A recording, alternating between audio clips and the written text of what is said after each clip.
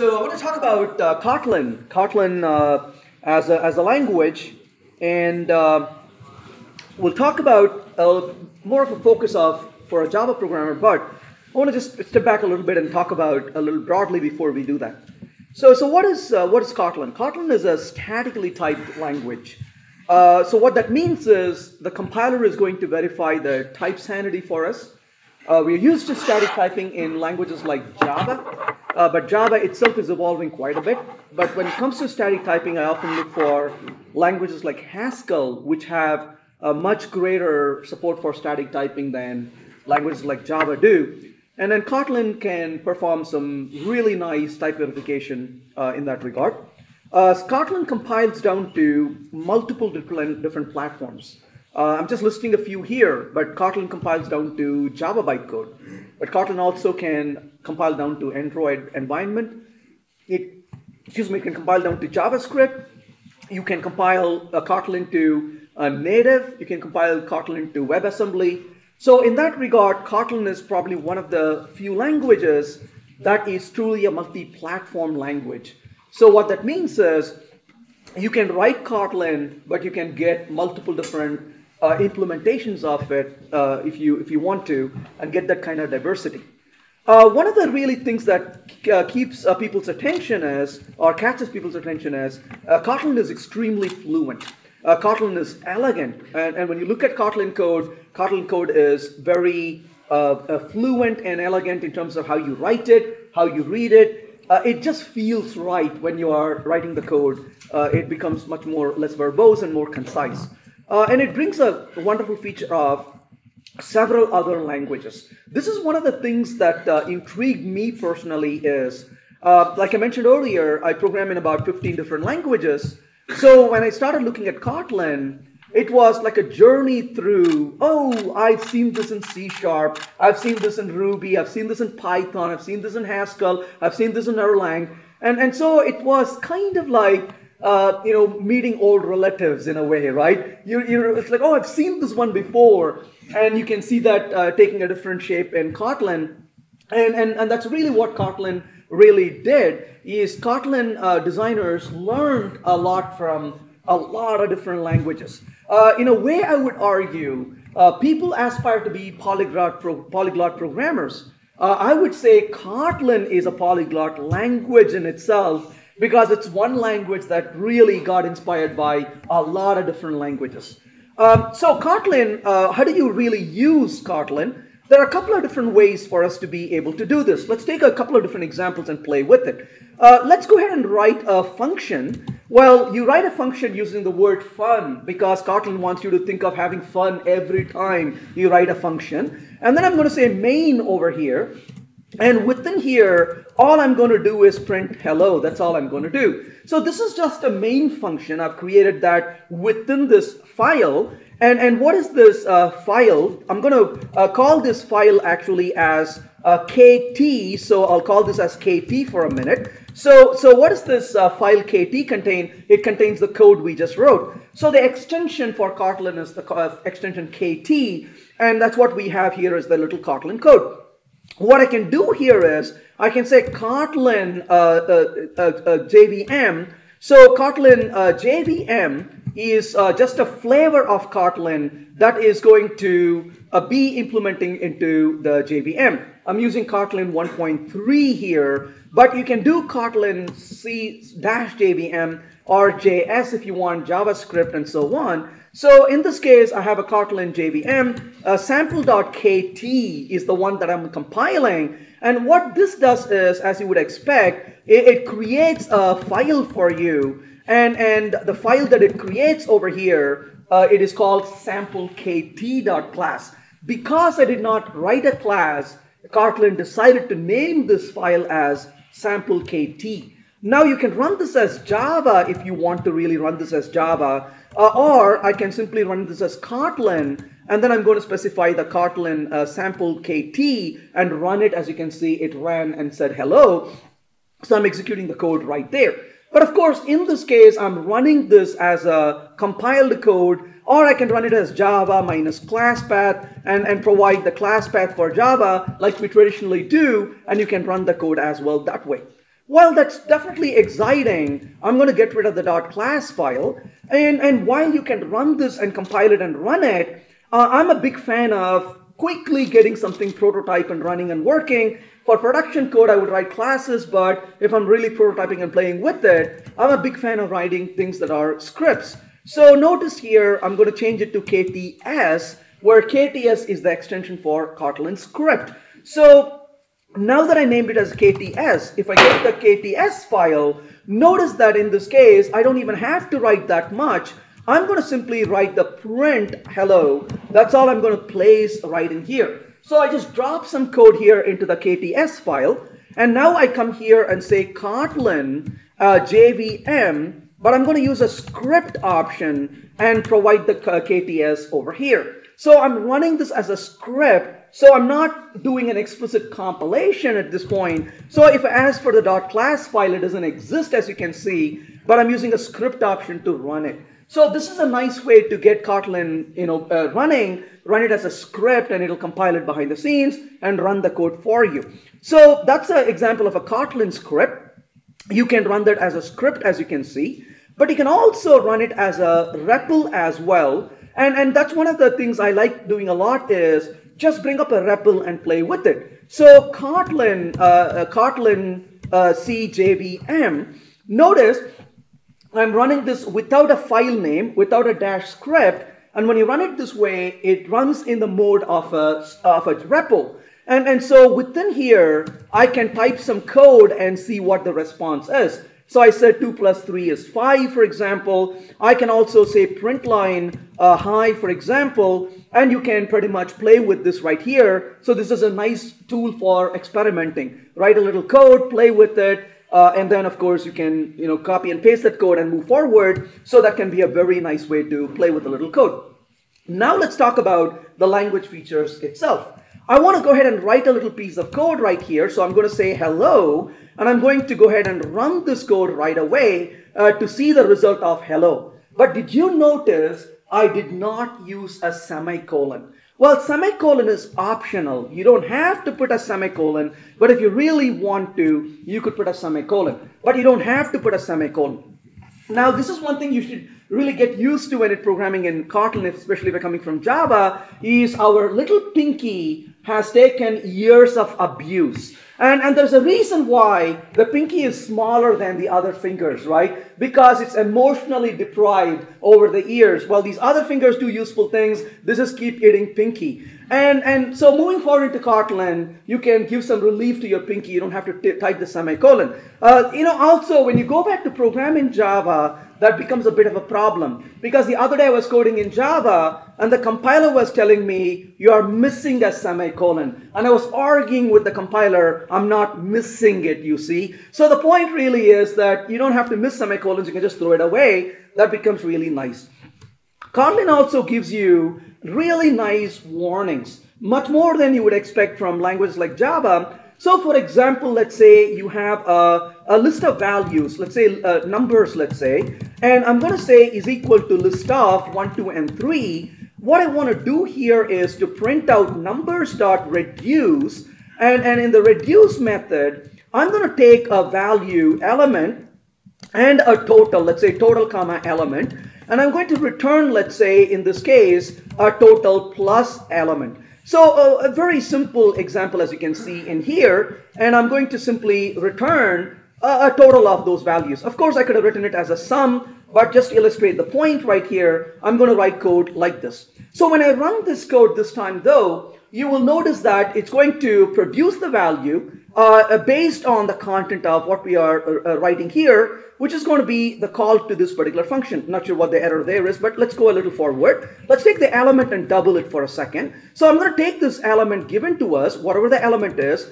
and I'm going to say element times, uh, let's say 2 for a minute. So all I'm doing is doubling the values given to me. That's all I'm interested in doing. Nothing really uh, exciting. Well, given this example though, if you were to uh, produce uh, output like this, but what if you really don't care about the value given? And what if you were to return, let's say, just a, a 2 times 2 for each of the values? Well, clearly it'll be 4 for each of the values. So you can see 4, 4, 4 on the top. But if you notice there's a warning, the warning is the parameter e is never used. So the compiler is trying to kind of give you a little warning to say, hey, did you really forget to use that? Is there a bug? Is there an error? Well, you can tell the compiler, no, I really did not forget it. I was intentional in not using it. So how do you say that? Well, I found out there's a very special symbol now in a lot of different languages, and that is called underscore. What is underscore? Underscore is the international symbol for I don't care.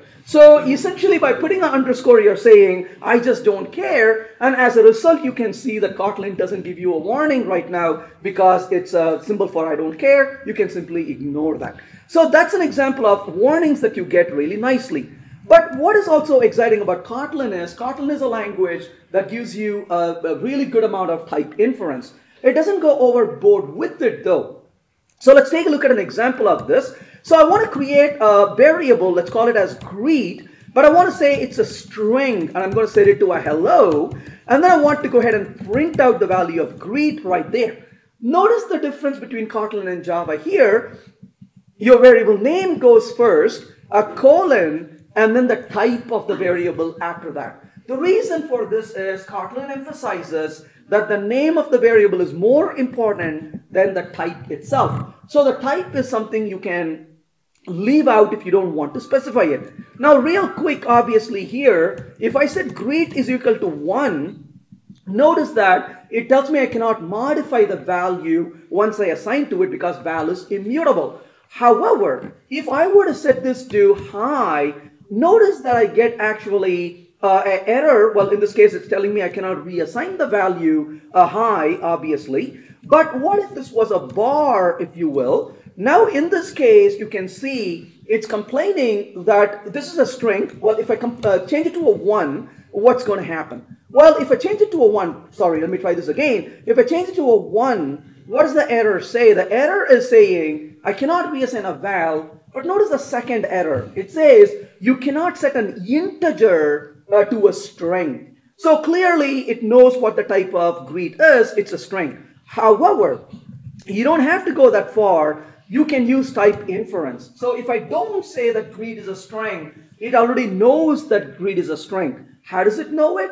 Because you're assigning the string to it, so that's pretty darn obvious. So when I run this code, you can see that it's a value hello, but if I were to try to set the value of 1, notice the error is again uh, in the bottom it says I cannot set an integer to a string because the type is inferred as a string. So in this case, of course, it knows the type. You don't have to say the type every single time. That is essentially type inference.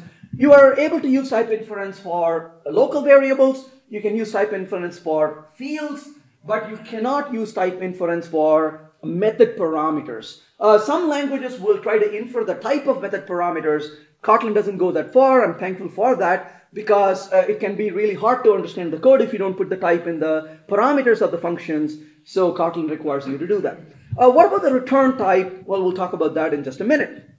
Kotlin does have a variation. It has a val, as we saw earlier. So val, for example, max equal to 100. And I'm going to go ahead and print the max right here. And, and the max is going to be a value of 100 as you would expect here. And you can see the value of 100 being printed right there. But because we defined as a max, I am not allowed to modify the value of max. So if I run the code, I get an error saying val cannot be reassigned. But if I really, really wanted to, you can create immutability as well. So here I called it as a var instead of a val. So now you can see that I'm able to modify the val. So what is var? A var in Kotlin is called the keyword of shame. So if you use it, you have to look down, cannot make eye contact with your colleagues, and they find out you used a var in the code, didn't you? And then you can go back and refactor it. Well, it's easy to search for where you're using var, and you can refactor your code as well. So that's basically for mutability. Try to avoid it as much as you can. Now, you also have a nice uh, literal uh, template so if you want to, for example, say val name is equal to, let's go ahead and say Joe, you can print out something like hello and then plus name. And we all have done this in the past and it is so boring. Well, thankfully, you don't have to do it this way. what you can do is you can put a dollar sign and you can simply put the name as a variable and you can write code like this so you can see hello Joe being printed right there. So this becomes a nice way to put an expression in place. So hello dollar name simply is expanding to hello Joe. Similarly, if you really want to provide a, a, expression, you can do that as well. So for example, I can say to uppercase right here. And as a result, you can see it says hello, but with Joe in uppercase. So you can write an expression also with the curly braces. So that becomes a nice little uh, string literal for you to write as well. So that becomes a nice way to uh, expand uh, strings with expressions. You can also write a multi-line string and multi-line strings can be expanded very nicely. So you can write multiple lines of text and you can have uh, expressions in it. You can expand it. But if you want to indent them, you can indent them. For that, you can use a trim margin to remove the margin. You can do that pretty nicely also. Well, one thing I want to quickly mention here is that expressions over statements. Uh, one of the things that I begin to appreciate more and more languages is that languages that provide expressions, and expressions, of course, one of the nice things about expressions is expressions don't cause immutable, uh, mutability. So expressions can compute and return a value back to you rather than causing mutation or side effects. Well, languages like Java predominantly supported uh, you know, statements like for statement and if statement. Now, why should languages have statements when they can have expressions? So a lot of these things can become expressions in languages and that saves quite a bit of effort. So for example, let's say I have um, a function called can vote and this takes an age as a value, let's say. Now in this case, I want to uh, say whether a person can vote or not. So what do you typically do in a language like Java? So I could do something like this, right? I can I can go ahead and print out. I can say uh, can vote, and I can pass the age, let's say 12. I can also print and say can vote and pass, let's say, uh, an age of 20. Now, if I were to call this particular function, I want to return a string. So in this case, I'm going to say a string, and, and I'm going to return whether they can vote or not. Well, we could do something like this, right? So I can say uh, vote is equal to uh, please vote. And then I can say if age is less than 18, I could say uh, vote is equal to, you know, I could say go home kid, right? So don't uh, bother voting. And then I could also say return and I could also say, in this case, let's remove the please from here. And I could say, uh, please. And then, of course, I could put a dollar vote. And, and depending on the age of the kid, I could return a value back to that. So in this case, please go home kid and please vote. So you can try writing like this. But as you can see, the code is pretty verbose, but this is very natural in language like Java because if is a statement in Java. You cannot assign the result of a if to a variable in Java because it's not an expression. But the question is, why can't we really use expressions? So I could take this as a val, if you will, and I could say vote is equal to, and I could ask the question, so if age uh, is equal to, is less than 18, then I could simply say go home kid, and else if the person is not, uh, you know, less than uh, 18, I could simply say vote over here and return that part of the code. So you can see how we could start writing expressions and if is an expression rather than being a statement. So you can take the result of an if and you can assign it. So a lot of things in Kotlin are expressions and as a result you can do uh, composability much more easily as well and you can take the result it doesn't cause mutation for you that's one big benefit for us to uh, use in this particular case now, talking about functions, let's talk about how to write functions. Well, functions are written using the fun keyword. The return type of a function is inferred, excuse me, if the function is a function is a single uh, expression. So, in other words, if the function is very small, you don't have to specify the type of the function. Of course, if your function is a little bit bigger, you're going to put a, a, a curly braces, your block body, then you want to really tell what the return type of the function is. You can also write void functions as well, and the return type is considered to be unit in those cases. Let's take a look at a function here. So I can say fun, and let's say in this case can vote, and it takes a age as a reference, a parameter here. But notice I don't have to say what the return type is. I can simply say if age is less than 18, I can simply say go home kid and then else I can return vote and if you notice over here, I can print can vote and put a 12 in there. And you can see the result of that is go home kid. But if I put a 21 instead of a 12, you can see that it says vote. So you can pretty much write a function where the return type is inferred for you. And if the function is small, you can use type inference. If the function is not small, if you're going to provide a block body, then you cannot really use type inference. You have to say what the type is Otherwise, it's going to assume it's a void function, so be a little careful about it. You can also provide default arguments to functions as well. So default arguments can be a really powerful way to extend an existing code. So if you have a greet function, let's say I have a name, and I'm going to take a string as an argument, and within this function, I'm going to print out hello, and then I'm going to print a name after that. So if I call greet and I'm going to say uh, Jane over here, you can see that this code is going to print out, you know, hello Jane. But what if you want to really customize the message you want to print, not hello all the time? Well, the nice thing about this is you can go back to this code and say comma message.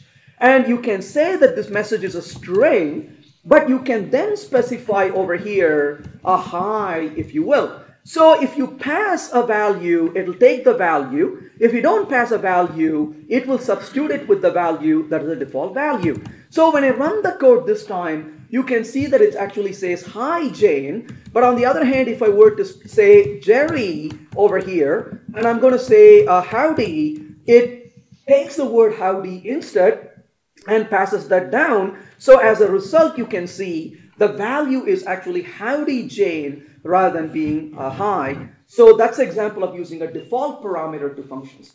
Now, not only can you do this, when you're using default parameters, you can also benefit from one other thing. For example, if you go back to this code right here, you can take the name, notice the name is the first argument, and you can take the name and you can actually specify name.length over here, if you will. So as a result, you can see here, you can, when you run the code, it says, howdy, Jerry, because you gave the value howdy. But if you don't pass the howdy, this is a very geeky way of saying high five to Jerry. You can do that as well. So one parameter can use other parameters to its left as well when you're using a default argument. So it's not a default parameter value, it's a default parameter expression. That's what you're actually specifying in here is really an expression you are providing to it.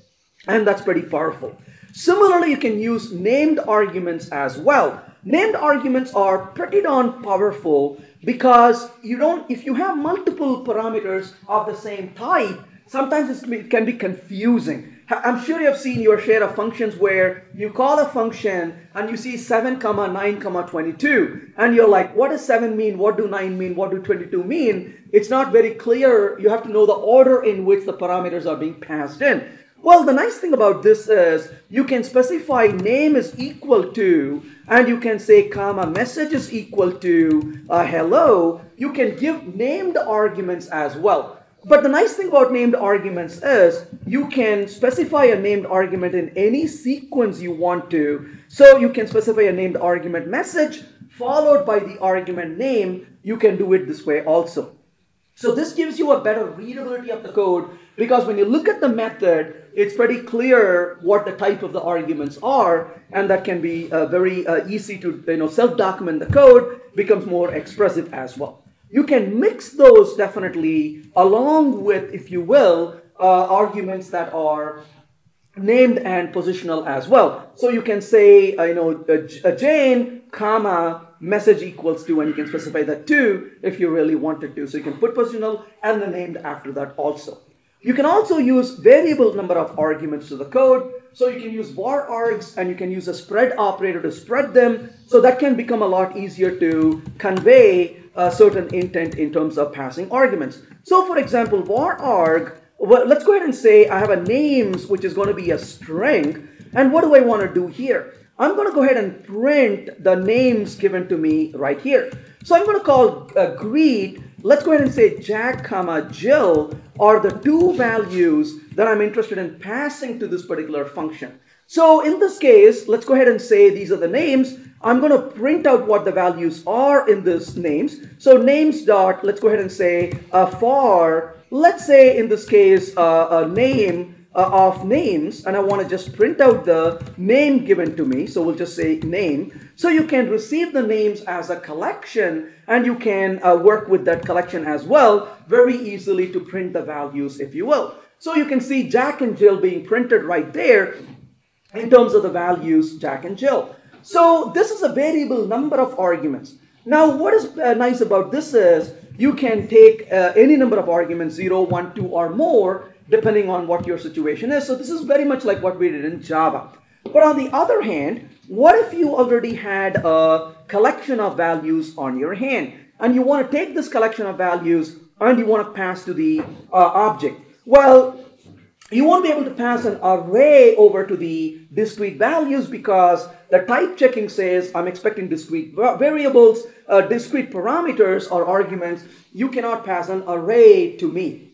This is where you can deal with uh, things that are a little different. So for example, if I say numbers, and I'm going to say var arg for the numbers, and this is going to be integer values, and in this case, we'll simply go ahead and print out the numbers for a minute. So if I were to, actually, here's an idea. Let's go ahead and return from here. Uh, max, uh, well, numbers dot max, a little cheating of this value here. So we'll go ahead and say equal to and return just that value. So this max, what is this going to do? I could try to call max over here with a 2 and a 3 and a, uh, let's say, a, a 5 and a 3. Well, this is going to return to us the maximum value from the collection of values uh, given to this function. Uh, nothing returned, of course, I uh, need to return the value. So let's go ahead and uh, run that code. So that's going to return the value 5, as you can see.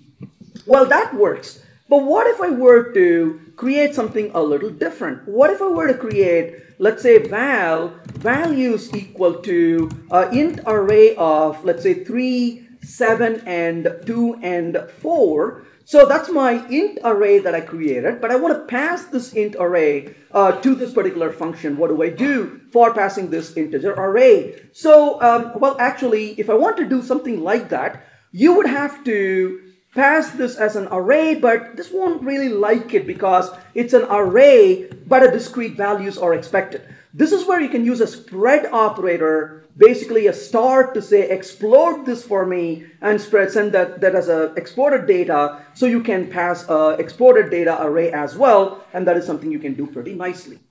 Well, so far so good, but one of the things that a language does is to make your life really easy. Well, this is one of the things that really made me happy when it comes to Kotlin is Kotlin does not want to treat you as a child. Kotlin treats you as an adult.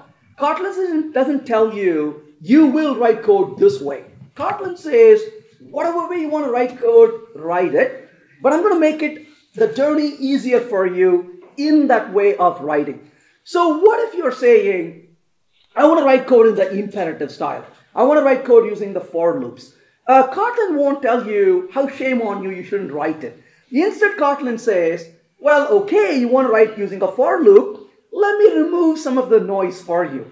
You don't have to say i equal to 0, i equal to i plus 1. You don't have to go through that noise. Let's make life really easy. So this is where a beautiful, nice for loop comes in.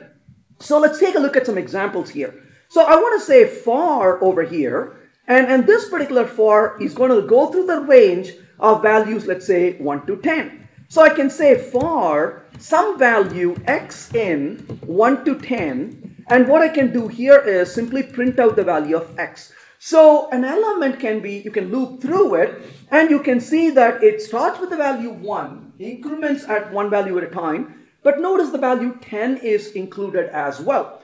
Now, some of you may have realized uh, that this syntax is very similar to what you use in Ruby. So in Ruby, you have a range, and similarly, you have a range here as well. So that's a nice little concise syntax to get a range of values. So if I were to go through 1 through 5 right here, the output includes the value 1, but excuse me, it also includes the value 5 as you can see here. So given this, of course, what if I don't want the value 5? You can then say until and you can write the code like this. Now, notice how it said 1, 2, and not including the 5. Now, looking at this code, you may wonder, hmm, that's kind of interesting fluent syntax. But here's the beautiful thing about Kotlin. These things are not just part of the language where you can only do it within the language. These are part of the syntax you could do for your own code. So this could be one of your objects. This could be another of your own objects. And this could be your method. And you can write code like this also. And the reason why this works is that until is actually a method on the object one, which takes a parameter of 5. So you're like, gosh, can I write code like this? And it turns out when you run the code, that works as well. But I challenge you not to write code like this. Because if you write code like this, you'll be alone sitting and eating lunch. Nobody else wants to dine with you after that. After all, you're writing very verbose code, isn't it? So as absolutely, you can write the code with a space right there, as you can see, and you can see that the code is a lot more easier to write right there, uh, easy to read rather, so that becomes more fluent. Now you may wonder, how is it that I can just leave out the parenthesis? We'll talk about this later on. That comes from what's called an infix notation that's built into uh, Kotlin.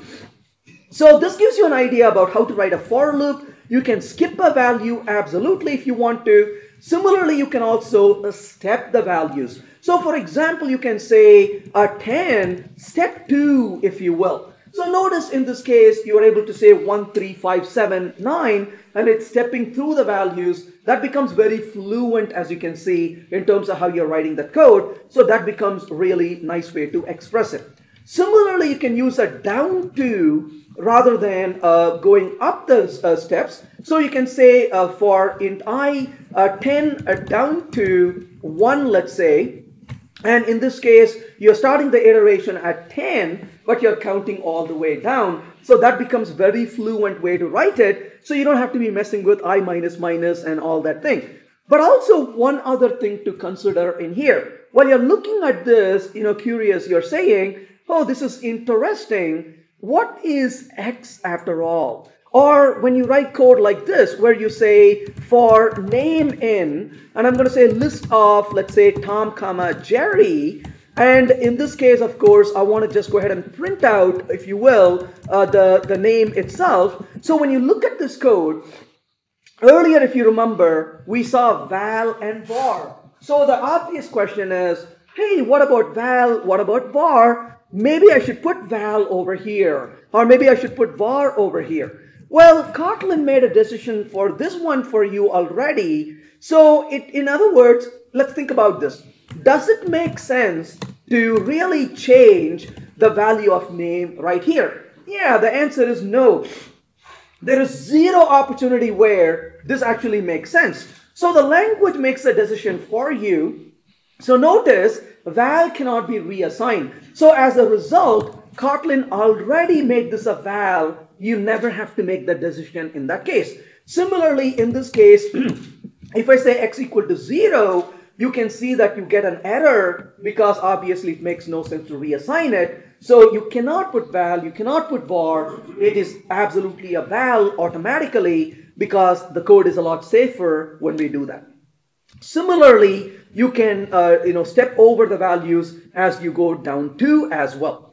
Well, you can also iterate over a list of values. You saw that a minute ago. So for example, if I were to write uh, uh, uh, names is equal to list of, and I'm going to say Tom, let's say, comma, Jerry. And in this case, I want to say for name uh, in names, and I'm going to simply print out the name given to me. Well, you can see that's very easy to print the name Tom and Jerry. But one of the nice things about the older syntax that we use in Java is you get the index value as well. So if you want to access the index and the element, that was really easy function. Okay, so far so good. Well, if the person name is equal to Robert, I'm going to return, in this case, Bob, right? So that's a very well-known, well, well-known um, return, uh, nickname, so I'm going to return it. Okay, that's great so far.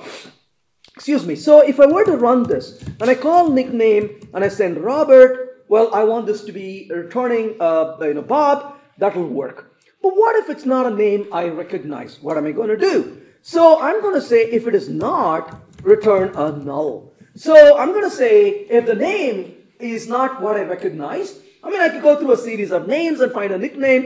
If the name doesn't exist, I'm going to return a null. Okay, so what's going to happen here? If I were to call this with a nickname and pass, let's say, Venkat over here, that code won't compile. Why not? Well, the reason the code doesn't compile is line number 4 has an error. Line number 4 says null cannot be a value of a non-null type string. So Kotlin has two different types. One is a nullable type and the other is a non-nullable type. A non-nullable type cannot have a null as a value. So unlike references in Java, a reference can refer to a valid object, but a reference can also hold a null. Not so in Kotlin. Non-nullable references cannot hold null. Only a nullable reference can hold nulls. So string is a non-nullable. You cannot assign a null to it. And the compiler rejected right here. So this makes your code a lot safer. You're not accidentally going to return a null. On the same token, if a function's return type is a non-nullable type, you will never get a null pointer exception out of it. So that makes your code a lot safer as well. Well, okay, that's great, but what if I really want to return a null? What do I really do? Well, in general, it's better to avoid it, but if you really, really, really have to, you could mark it as a nullable type. So when you mark it as a nullable type, this gives you permission to return a null. So when I run this notice, it said Bob for Robert, but it said null for Venkat. Just for the sake of record, null is not a nickname for Venkat. But the, but the point really here is that you have a nullable type and you're returning this nullable type uh, over here. Now, you can see that it allows you to pass a nullable type when the return type is nullable. Now, how do I pass this as a parameter to the function if I want to pass it as a parameter? Well, what you can do here is, similarly, in this example, what if I call print, but I send a nickname, but I want to send a null. I don't have any name to send to it. Well, obviously, you cannot send null to a name because name is not a nullable type. So the code will not work on line number 9. It doesn't want you to pass a null. You can mark this as a nullable type if you really want to. In that case, you're allowed to pass a null. Now, that brings up a, concern. If you're allowed to pass a null like this, let's change this a little bit for a minute. Let's step back to what we had a minute ago. So going back to this, what if I were to not return, I'll simply say no nickname, right? So in this case, if you have a nickname, you get it. If you don't have a nickname, you get no nickname. But what if I were to pass this as a nullable type? where I say you could potentially pass a null to me. Well, if I were to receive a nullable type, what's going to happen? What if I want to get the length of the name? Or what if I want to reverse the name? Hey, here's an idea. If the nickname exists, I will return the nickname. If the nickname doesn't exist, I would say name dot reverse, right? So that would be a really nice way to give a nickname. So, but what's going to happen now? Well, you notice if I don't have this one, when I run the code, it says Bob for uh, whatever the name Bob is. But what if Bob doesn't really exist? It's going to try to reverse the name and, and return for that particular name. Let's see what the error says here. So it's going to return uh, the reverse of that particular name. Unresolved reverse. Actually, it's not too happy with the reverse here. But anyway, so we can, we can do some kind of operation like that. Let's say I want to get the length of the particular person's name, and I want to just return based on the length as, as if that were the value that I want to return from this. But the point really is that I'm able to take this object and access it. But what if I go back again and make it a nullable type? Well, the problem here is if the type is nullable, am I safe to call length after all? Notice a call of the length when this is null would result in a null pointer exception. And Kotlin says, no, no, no, no, you don't want to do that because you'll get bitten if, you, if that word happened. I'm going to safeguard you. So how does it really safeguard me? Well, the way it safeguards is, first of all, it prevents me from accessing that particular variable directly. I got to perform a null check. So here's an idea. What if I were to do the following? What if I were to go back here and say, if name is not equal to null, then return name.length. Otherwise, what do I return? I'm going to say return, uh, will say, uh, you know, uh, in, uh, no, uh, nope. So I could try something like this. So in this case, if it's Bob, it returned Robert, it's returned Bob. It's Venkat, it returned the value 6. If I were to call this with, let's say, a nickname with a null, it's going to return nope because there's nothing to do with it. Hey, that's great, but this code is a little verbose. It's a little smelly. It's got to be a lot more concise than this, isn't it? Well, here's an idea. What if we go back to this code and we return, in this case, if the value exists, we can say if the name, so we could say name dot, but instead question dot length. So this gives the opportunity to say if the name exists, if it's not null, execute that particular function. If the name doesn't exist, don't execute that function, right? So you can ask it to selectively execute a function if it were there and not execute it if it, if it was not there. So this can give you an idea about checking for a value and making a decision based on the value. So in this case, if I say val length is equal to, and I can assign the value of length if it exists, and what can I do? Otherwise, I can return a nope. But what if there's a value was there? I can try to return the length of the value if it were if it were there. So this gives you a safety net when it comes to accessing the variables. And so if the value were to exist, it's going to get you the value. Let's go ahead and print out the value and see what the lens says over here, just to kind of experiment and see what it says. Notice that the value exists, you got the value which is 6, and if the value doesn't exist, then the value is a null. So this gives you an idea about how you can ask for the value in a very safe way. Well, so this becomes a value or a null, but what if you really want to, once again, uh, get the value or give a substitute value if the value did not exist. This is where an operator called the Elvis operator really comes in. So the Elvis operator can substitute a value if the value doesn't exist or will execute the method and take the value if the value were there. Well, not only can you execute with these kinds of uh, uh, conciseness, you can also do the auto casting we talked about earlier. So in other words, if you're going to access a variable, it is smart enough to know based on where you are in the code, it realizes that a null check has been performed. And then if you were to access the variable directly, it'll let you go back and do that without having to really worry about performing a cast again. And that can make your life really easy. So what I showed you just now is Kotlin makes imperative style of programming really more fluent. It gives you nice pattern matching syntax. We also saw how you can actually do deal with nulls really safely as well. But what if you're a big fan of functional style of programming? If you are really interested in functional style of programming, Kotlin makes that really uh, possible and very elegant as well. So for example, let's take a look at an example of names is equal to, and let's create a list of names. List of, let's say, uh, let's say Tom uh, and Jerry, and we will create one more. We'll say Spike over here. So if I have a bunch of names right here, what I can do is I can use a functional style to perform some operations here. For instance, I could say names.filter. And given a name, I can say name dot length is equal to uh, uh, 5. And I'm going to just go ahead and print the result of this. And when I run this code, you can see that the resulting collection only contains names that have value of length 5. So this filter can be used nicely to extract that data. Not only can I do that, I can do a map operation from here and in the map, I can say, given a name, return a name dot to uppercase, and I can convert the code, uh, the, the names to uppercase, and I can return it. So in this case, you can see Jerry and Spike are in uppercase as well. But Kotlin also makes your life really easy by providing conciseness also.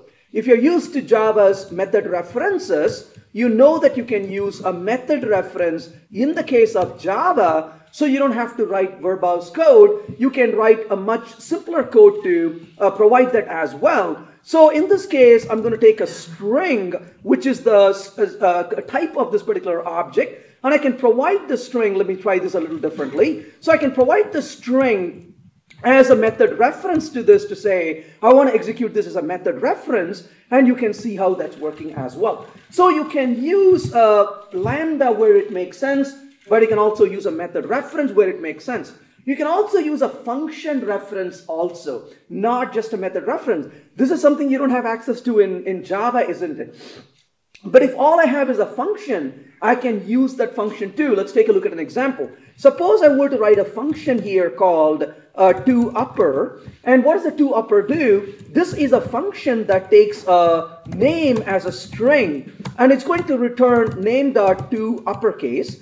And, and so take a look at the to upper function. How would I use that here? Well, I could have done something like name arrow uh, to upper and pass the name to it like this. So that syntax is using a lambda. But what if I really want to use that function, don't want to put too much effort into it? Well, how about this? You can simply say to upper, and you can pass the function as a function reference rather than a method reference. So that is something that gives you ability to take regular functions and pass them through, and that can remove the verbosity in code quite a bit as well. And that becomes really powerful way to communicate with the language.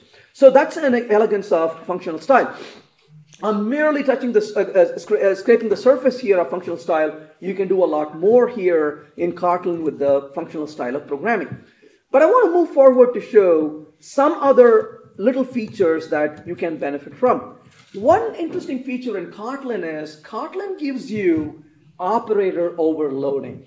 Now, there are only two kinds of programmers in the world. Those who love operator overloading and those who hate it. Okay, I'm sorry I said it wrong. Let me say it differently. There are three kinds of programmers in the world. Those who love operator overloading, those who hate operator overloading, and those who abuse operator overloading. Uh, and, and I want to be the first category where I love it, but I don't abuse it. So we have to be very careful using operator overloading. But honestly, operator overloading can make a life a lot easier. For example, let's think about one example here. Suppose I have a, a list, I'll call it as fruits, is equal to, and I'm going to say a list of, let's say apple and orange. So I have a list of fruits of apple and orange. What do I want to do? I want to create a list of fruits where I'm going to add banana to it. Well, how do I add banana to it? Notice the words we used, add banana to it. Well, you could say fruits dot add, and then you could say banana, right? You, you could try something like that. And, and your goal here is to add it. Well, thankfully that doesn't work. But the point really is, if your goal is to add it, why not simply add it? So if I were to just do a plus on it, what does that do? That adds banana to it. Well, that's kind of interesting way to think about it, isn't it? This is an operator overloading. Excuse me, it did not change the original collection. So if I were to go ahead and run fruits one more time, our fruits contains apple and orange, but the new collection we created, we added banana to it. So we used a plus for it. I know what you're thinking. You're thinking, if you can use a plus, can you use a minus as well? Right? So I'm going to do a minus uh, apple. Now, that's removing apple. I know what you're thinking. If you can use a minus, can you use a multiply also, right? Now, remember what I said about abuse, right? So that clearly is an abuse. Don't go there. So, of course, the question is, can I write a multiply uh, for an operator? The answer is, the question is not a can. The question is, should you? And the answer is no. So, in other words, use operators only where it is absolutely intuitive. If it is not intuitive to you and more important to your fellow programmers, don't use operator overloading. Uh, to me, uh, there are times I don't even know an operator is overloaded. But as I'm writing code, it just occurs to me, oh, wouldn't it be so cool to be able to do it? And then you do it and you see that it actually works. It's got to be that natural. That's how I felt about List, honestly. I did not know at the time List had a plus. As I was writing code in Kotlin, I said to myself, it'd be so cool if I can just do a plus. And I just did it. And then it works. I'm like, this is awesome. This has been implemented. Of course, honestly, I never tried multiply, but you know, you could be tempted. So the point really is that it's got to be really uh, intuitive for you to be able to do. And you can write your own operator overloaded functions. All that you do is you just you know, refer to this as operator, and then you are able to use that after that. Uh, mark the method annotated as operator. Okay, so that's operator overloading, but there is also something else you can actually do quite effectively.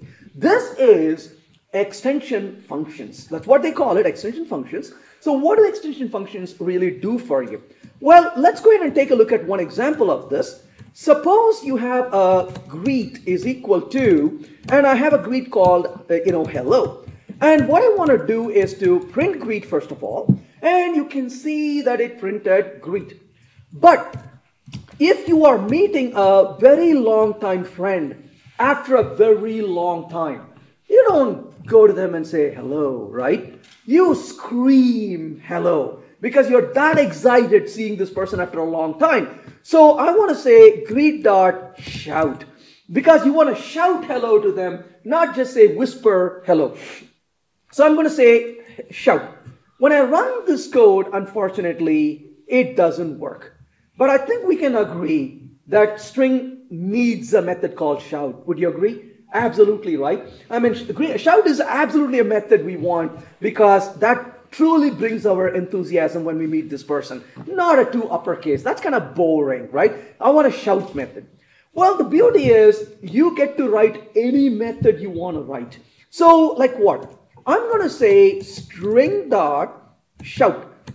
So, right there is a function called string dot shout. So, you can write any method you want to write on any class. So what am I going to do? This dot to uppercase, and I'm going to return uppercase when you call shout. I know what you're thinking. You're thinking, did you just take the sacred string class and add a method to it? You know what? The last time I checked, we live in a free country, isn't it? We can absolutely do anything we want in our code. So this is really adding a method called shout, and internally it is calling the to uppercase. Now, this is okay. This is this is really good.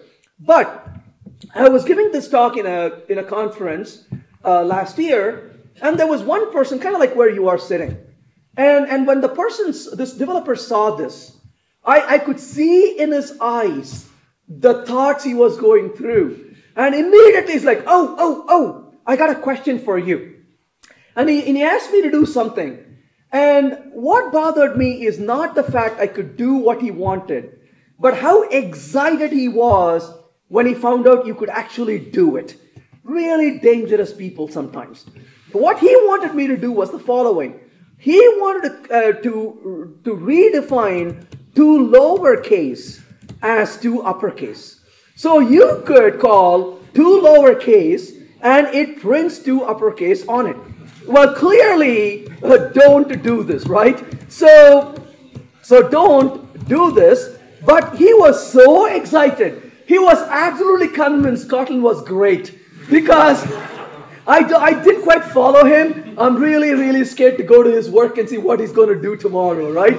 But the point really is sometimes you get overly excited about stuff like that can be very dangerous. So don't do this. It, it unfortunately works, as you can see, but, you know, absolutely all civility should stop us from doing something like this. This is dangerous, please. Does it give you a warning at least? No warnings, of course. If it gives you warning, it's boring. Yeah, so no warnings, absolutely. Um, but you want to kind of keep an eye for your developer who has that kind of you know, tendencies, right? This is this is dangerous stuff. We don't want to do it. So, so this is an so eh, please. Uh, sorry, do you, do you have access to private uh, do you have access to private fields? Yeah. Well, okay, so really good question. So why don't I defer that to a few minutes? I'll talk about that in a few minutes. So I'll, I'll come back and talk about it. Um, so one other thing I want to quickly emphasize here, how does Kotlin really do this? I think that's a very important thing to understand. what Ko- Kotlin is very different from a lot of other languages in that sense. If you look at languages like Ruby or Groovy or various other languages that do metaprogramming, Kotlin does not alter the bytecode in any way. So Kotlin is not messing with your string class. Kotlin is not changing anything in your bytecode or string class. Instead, what Kotlin is doing is Kotlin is creating a separate static method. It creates a static method which takes the first argument of the type on which the method is injected, the function is injected. So it creates a static method which is taking string as the first argument. If your function takes two arguments, your static method takes three arguments, where the first one is the object on which the method is called. Then what Kotlin is doing is, it's a purely a syntax sugar. It rewrites this code as a call to the static method. So in this case, it calls the to lowercase static method and passes the greet object to it. And that's basically what Kotlin is doing behind the scenes. So as a result, it's a wrapper method that they are writing. That's what you're getting access to at this point. Okay, so uh, like I said, it's not part of the uh, class. That brings us to talking about excuse me, object-oriented programming, and that will answer your question about uh, fields. I do have to say, I really like what they have done in Kotlin. In Kotlin, you never define fields. That's the beauty of it. So you never define fields. So in other words, this is such a departure from Java. What do you do in Java? In Java, you define fields. Then you define getters and setters. What Kotlin is saying is, you have zero reason to define a field. So Kotlin at compile time will create the fields for you. You never have access to fields directly. So you can only access properties and only the property getters or setters can access the fields. So these are the backing fields that Kotlin provides behind the scenes for you. So let's talk about how we can use this. First of all, classes are final by default. So if you create a class, you cannot extend from the class automatically. You have to make a class open if you want to extend from it. If you don't open a class, you cannot extend from it. So in other words, they want you to program with intention. They, they don't want your class to accidentally serve as a base class. So let's look at an example here, pardon me. So let's say class car, and I want to create an object of car, car equal to car, and I'm going to simply print out the car we created. So when I run the code, you can see an object of car is created. Did you notice how lightweight that syntax is? No ceremony, isn't it? So class car, and that's it. You don't have a curly braces, you don't have stuff you don't need, you don't care about, don't specify it. But I want to say this car was manufactured in a certain year, so I say val year is an integer. So as a result, 2018, and I can run this code this time, and I have a car. What year was this car manufactured? You can see that it is from the year 2018. Now, make no mistake, year is not a field. Year is a property. Now, this is one thing I'm really sad about Java. Java did not ever give us true properties, isn't it? Java had the intention of the Java bean convention. You wrote a field, you wrote a getter, you wrote a setter, but you could never use it as a property. Java Bean API gave you properties, but in your code, how do you access a property? Using the getters and using the setters, right? But in the case of Kotlin, though, I'm going to go ahead and say output car dot get year. So what does get year do? Get year behind the scenes can give you the functions directly. So in this case, I'm going to say car dot get year and, and get year is a getter that I'm going to access. Well, if you're accessing Java code, when you say year, it'll automatically call the get year function for you without you having to use a get year. The mapping happens to you fundamentally for you behind the scenes. But in this case, you can do one thing though. What if I say car dot year equal to 2019? That's one way to try to keep the car new all the time. But when I run this code, notice I get an error. Val cannot be reassigned because it's a read only, you cannot modify it. But wait a minute, what if I do want to modify it? Well, I'm going to go to uh, make it a var for a minute. When I run the code, you can see I was able to modify it. Now, if I print car dot year, and notice at this time, the year value is 2019 rather than being 2018.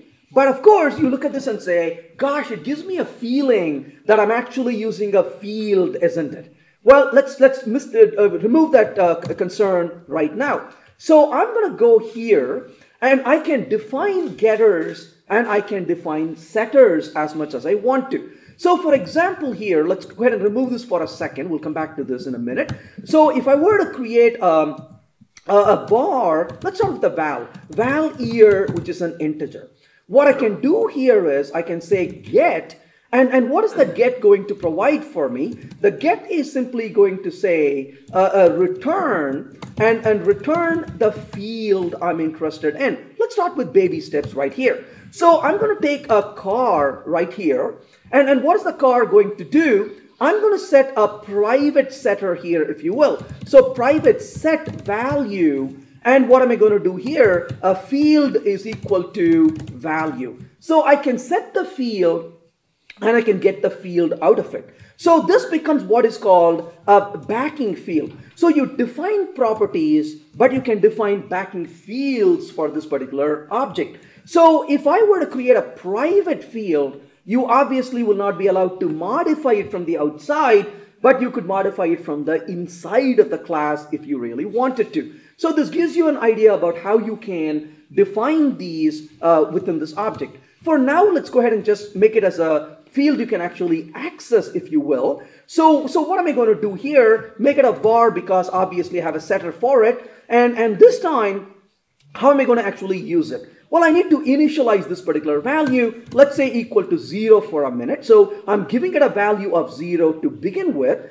And now what am I going to do? I'm going to print out car.year. Notice I'm accessing it as a year. That's what I'm doing. But even though I never actually uh, defined a field for it. Then I say car.year is equal to 2018. And I'm going to print out car.year. And if you notice over here, you can see that it says 2018 at this point. But what if I don't want to allow a set?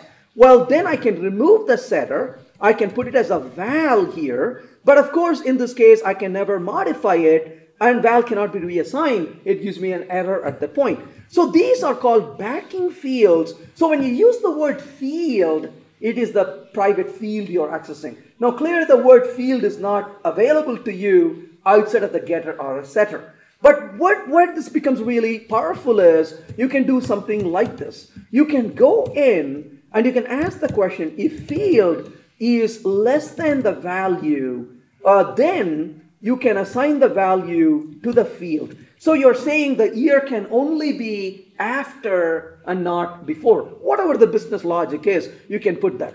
Otherwise, what are you going to do? You could put a little check over here. You can say if the value is less than the field, or you can say throw, uh, throw uh, what uh, runtime exception, and I'm going to say invalid operation. Whatever that you want to say as an invalid operation, you can say that. So in this case, if I were to go back over here and say car.year is equal to 2019, I'm setting the value 2019. That was not a problem. What if I set the value to 2016? Well, then of course, the value is less than the field and you get a runtime exception. So you can start really providing uh, uh, checks and uh, validations with the properties very easily. And so you cannot bypass that. You can only go through the properties to get the fields. That makes your code a lot safer. So similarly, we saw a private setter. You can also write static methods, but static methods often go into companion objects. Now, of course, if you really want this to be static, you got to do some more work to expose this as static in the Java side. But generally speaking, you can say these go into companion objects. So what are really companion objects? Uh, companion objects are, if you're used to Scala, it's a very similar idea in, in Kotlin right from Scala. So companion objects are really singletons that are attached to a particular class, and that's where you go to look for the class level methods. One other thing that uh, Kotlin provides really nicely is the concept of data classes. And, and, and Java is going to have data classes, I don't know in what version, but eventually you will see this in Java as well. So what does a data class provide for you? Let's take a look at an example. I say class person, and the class person contains a first name, which is a string, and a last name, which is a string also. So we have two strings. So that's very simple, isn't it? Now I say person, we'll say Alan equal to person, and we will create Alan and, and Turing right here. So now that I have created an Alan, I want to print out Alan. When I run this code, notice how sad that is. The toString method doesn't give us anything useful. So how do I really make the toString method work? Hey, here's an idea. I could go here and I could write the toString method right in here. If I write that code, maybe that takes a one line of code, maybe it takes a two lines of code, doesn't matter. The point is, I'm writing that code. But what am I going to do in that code?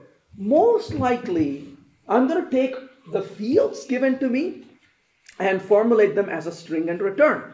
If you can do it, somebody else can do it too. Now, typically, what do we do in Java when we have code that is so repetitive that you have to write over and over and over? One example of that is getters and setters, isn't it? So, what do you do in Java? You write a field, you write a getter, you write a setter, and then you say, time for coffee break, right? Because you have to write those three things. Most of us don't do it. So, what do you do? You define the field and you gently right click on your IDE. And then you click a button. And before you could blink your eyes, the IDE vomits that code for you. And then what do you do? You live for the next seven years stepping over that vomit. And why do we have vomit in code? The reason we have vomit in code is the IDE generated that for you, but who should really be creating it? It should be the compiler that's creating it.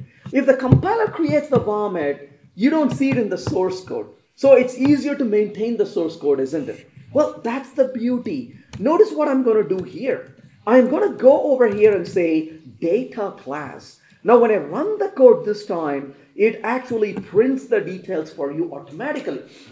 So what's happening? What's happening here is a couple of nice little things. As an example, let's remove the data for just a minute. Let's go back here and say Alan 1 as a person, and I create Alan 2 as a person, and I'm going to simply go back here and say Alan 1 is equal to Alan 2. When I run this code, notice it said false. Well, that's because in Kotlin, double equals actually calls the dot equals method.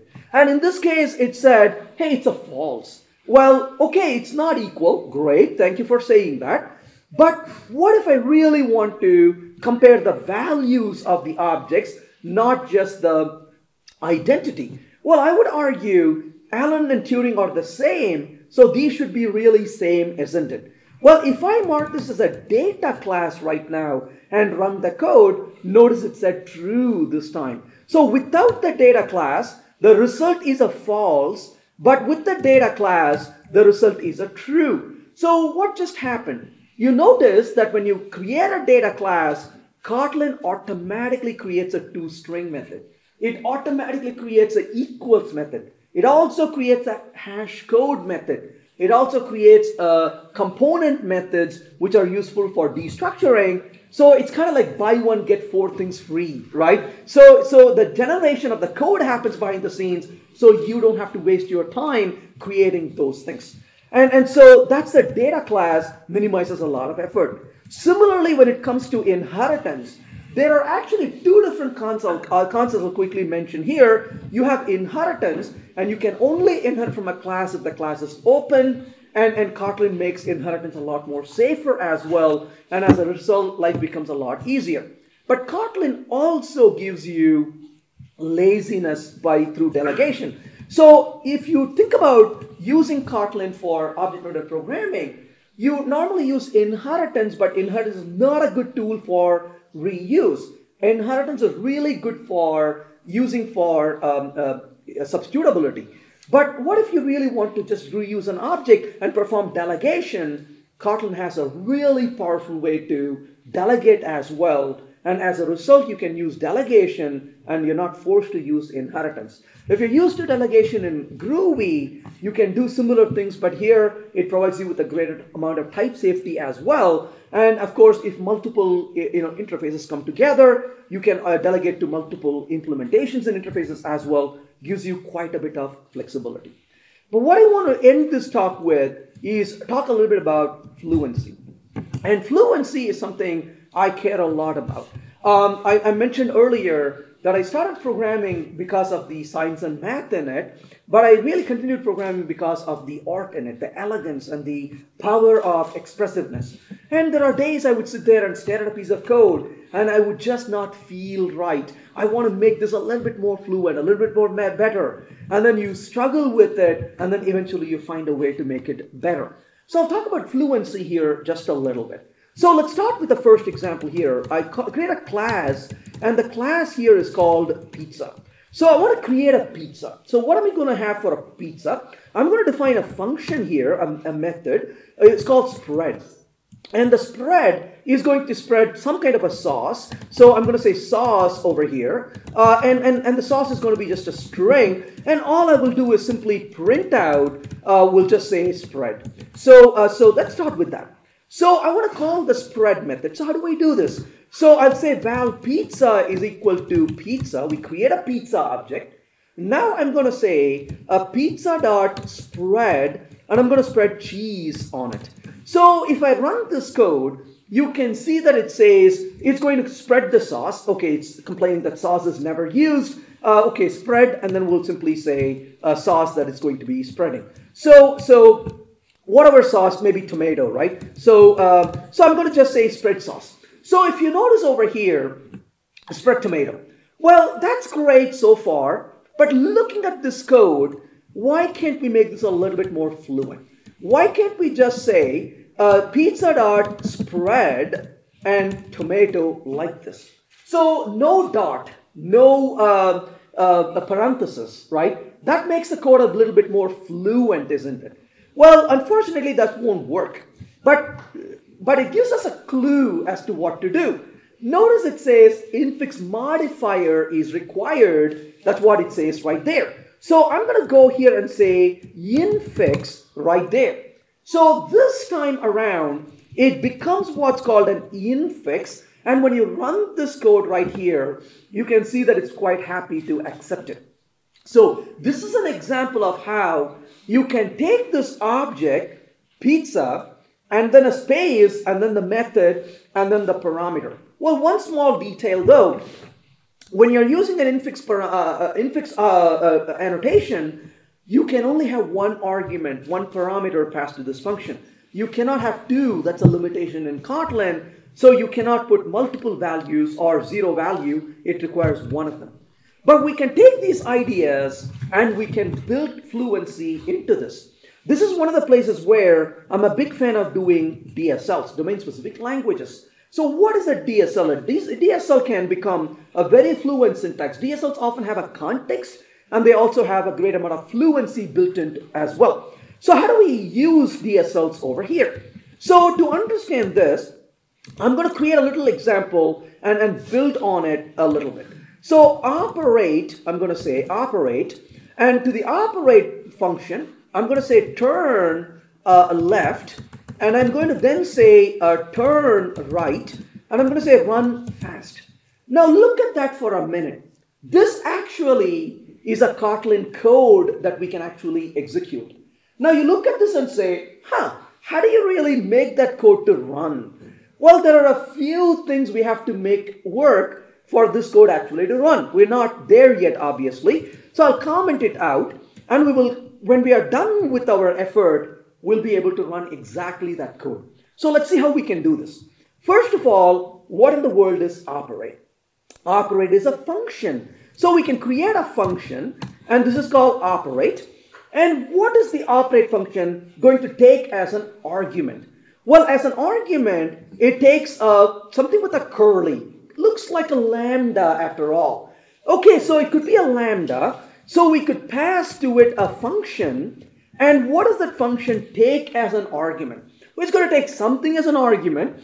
What is it going to return? Maybe nothing. Maybe I don't care for it to return anything. So in this case, I could say it return takes a, a, a, a, nothing and it returns a unit. Unit is simply saying I don't have anything to return. I'm a void function. So that could be saying it's a, it's a lambda that takes nothing and returns nothing. We can take baby steps and work through it. So let's start with this little function. What am I going to do with an operate? All I'm going to do here is simply say uh, called for now. Like I said, we'll take baby steps and see where it takes us. So that's my first code is to just write the function and I'm going to pass that to it. Now ignore the warning for a little bit. So what am I going to do? I'm going to call operate and pass nothing to it. So when I run this code, you can see it says called. But within the function, what am I going to do? I'm just going to call the function func that I passed in. So if I execute that function, what is it going to do? It's going to come in here and execute this lambda after all. When I call operate, it executes that lambda. So far, so good.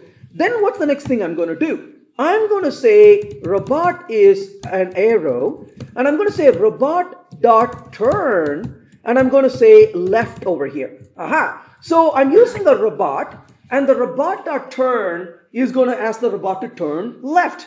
Hey, that's great. So class called robot. And, and what am I going to do with the robot? I'm going to have a function here, and the function is called turn. It takes a direction, which is a string, and all I'm going to do is simply print out turning dollar direction. So that'll tell me I'm turning left or turning right. Hey, that'll be really easy to work with. Now, how do I work with the robot? Oh, here's an idea.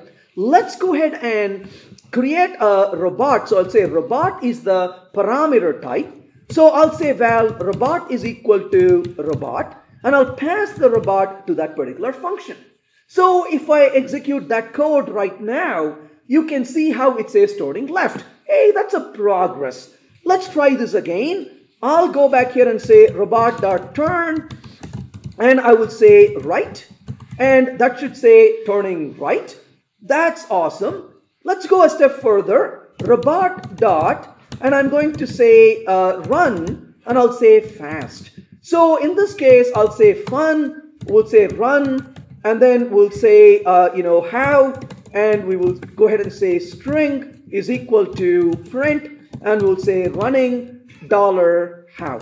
So it should say running fast. So that's all working really well.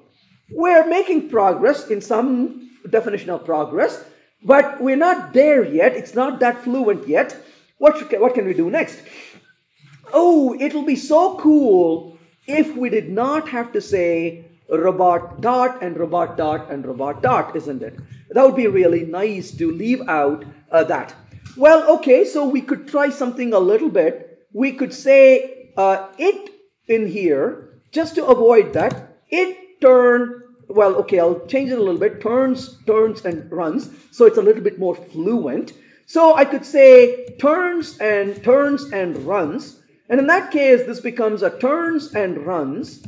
And of course, if I try that code, it is going to give us the turns and runs, but then I could play with this a little bit. I could say it turns and it turns and it runs, then I can remove that part because Kotlin already gives me the way to use it. So I could remove that part. Hey, we're getting a little bit closer to that, right? So it turns left, it turns right, it turns fast, and, and, and I can do that. But I want to get rid of the dot in the parenthesis. You already know how to do that. So what am I going to do? Go to these methods and say infix on those two. And by marking those two functions as infix, what can I do? I can now say remove that part and then I can remove this parenthesis from here and as a result I can remove the parenthesis from the end as well and you can see how that's able to work. So we are almost there but wait a minute I want to say left here not a double quoted left. Hmm. how do I say left over here? Now, this is where we have to think a little deeper about what the language is doing. Now, let's go back and think about this for a second. How do I get rid of that little double quoted string? Okay, not yet. We're not there yet, so we'll come back to that in just a minute. So let's go back and run this code one more time. It's working. Let's step back for a minute before we come back here. If dot turns left. So that we understand, right? So that's calling the left uh, uh, string on the turns. Let's try this again. What about if I write it this way? It dot turns, and if I said it dot left. Hey, I know that's not looking elegant. That looks actually more ugly. But sometimes you have to make things ugly before you make them beautiful, right? So it dot left, will that work? Maybe worth examining. Let's try this. So I go back here and say val left is equal to left, val right is equal to right, and val fast is equal to fast.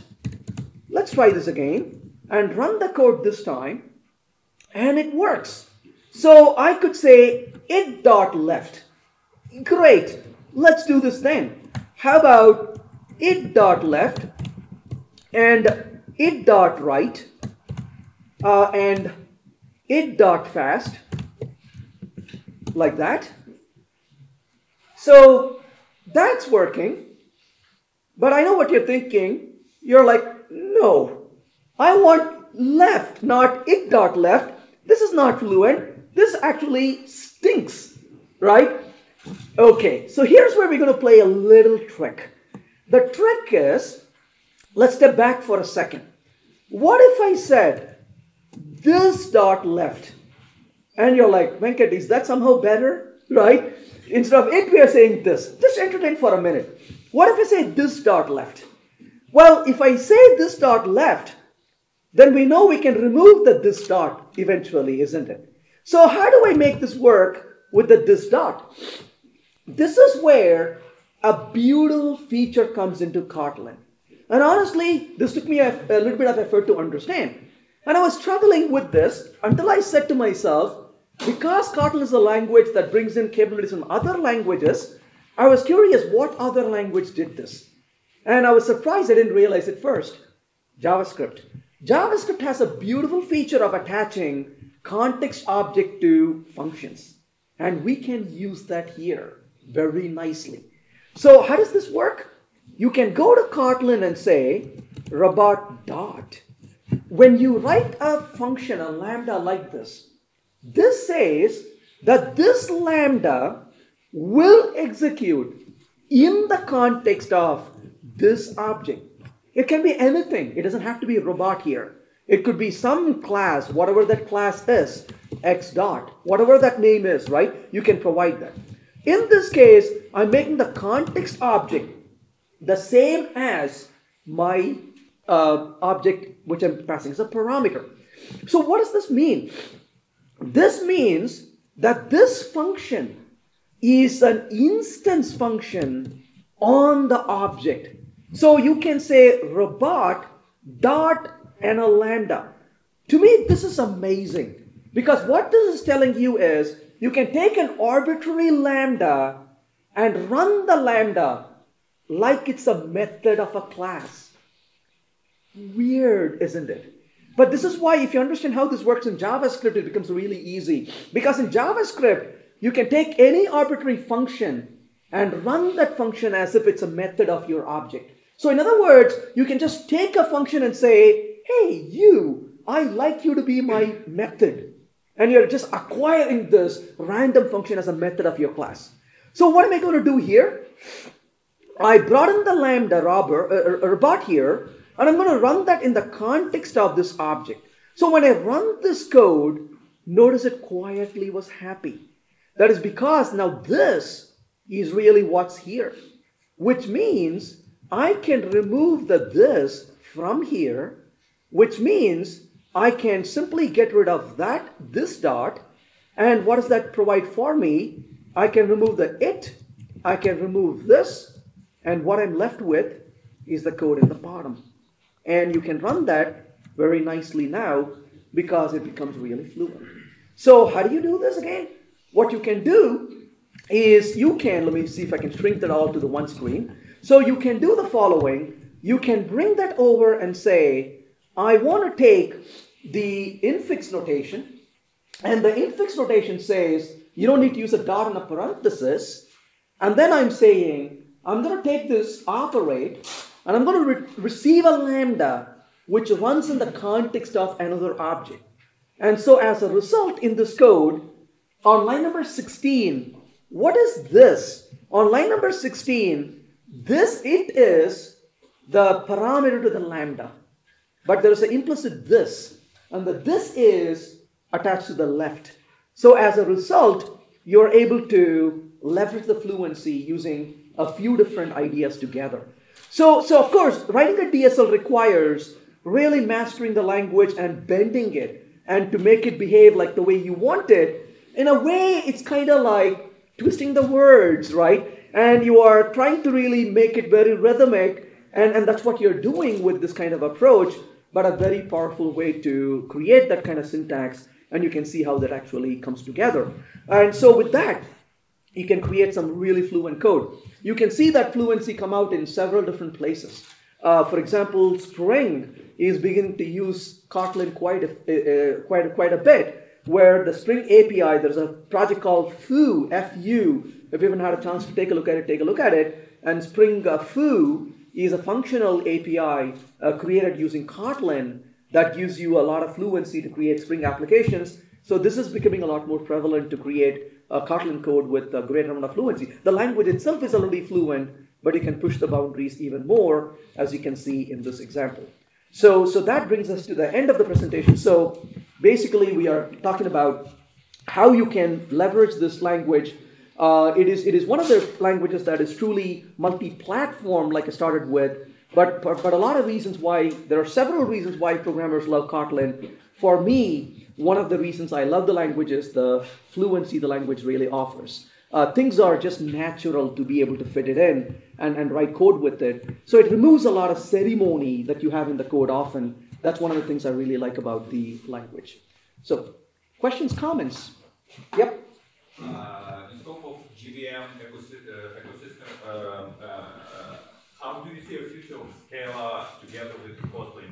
Because obviously they took the same niche. Kotlin um, generally, I avoid questions uh, that will put me on a spot. uh, I love them all. I know a lot of companies which are heavily using Scala and uh, I think they would continue to use it. Uh, there are some really good libraries created using Scala, and, and I think that's truly the, the nature of the world we live in, is that we really can benefit from uh, you know, different languages to exist. Uh, languages will continue to innovate, right? Uh, Kotlin would not be here uh, if those languages have not innovated in the, in the past. So to a, to a great degree, it's a little unfair to discard those languages because we have something new and shiny. Uh, but at the same time, uh, Kotlin also has its own uh, space, uh, place. And that's why I think the languages will continue to thrive in different areas and different uh, uh, aspects of where they're programming. Um, but eventually, right, if you really think about it, we are only in this field for 60 to 70 years. if you look at the history of human evolution, uh, almost everything humans have been doing, we've been doing for centuries, right? Medicine has been done for so long. And, uh, and this is an area. There are two things that our humans are very new to. Well, if you think about flying, we've been flying for what, 100 years or so, give or take, uh, and we've been writing code for even less. Uh, so this is too early to settle down. So, so what I'm saying in such long words is, uh, it's not about what Kotlin is going to replace, because Kotlin itself will be replaced with something else uh, in the future because our history is so small, so, so uh, short. We are learning very drastically, and, and we should really uh, evolve and change. That, that's where the future really is. Yeah. So please. the replacement will be quicker than the Scala will like die or something like that? Um, I don't. I don't think so. I, uh, this goes to my earlier presentation. It, it requires a generation. so look for the person younger than us to, to see that. Please. Yeah. Thank, thank you so much for the great presentation. Thank you. I have two questions. Yeah. So the first one is about um, what, what does Kotlin bring to error handling? Because, for example, you were talking a lot about strings in Java. And when you start integrating with legacy sy- sy- systems in Java, you realize that check exceptions just don't work in Lambda. This like breaks the whole like, elegancy and fluency. So what does Kotlin bring to handling? And what does Kotlin has to say for security? Because Java is dead constantly. JDK is being patched like, I know, 20 times a year. How about? Yeah. So, so first of all, going back to your earlier question about um, streams, the problem with streams really is um, the idea of exception handling does not is an imperative concept. It doesn't fit with functional idea. Um, so Java doesn't handle that at all, right? Uh, on the other hand, I don't think Scala or Haskell has a better answer either. And the reason I say that is because when you do those in those languages, the code is not very cohesive. I'm not very happy with what they're doing. So the short answer to that question is it's not a problem of the language, the problem of the paradigm. And, and Kotlin makes error handling a lot better in twofold. One is the compiler is much more vigilant in checking for things. Also, we talked about the nullable types.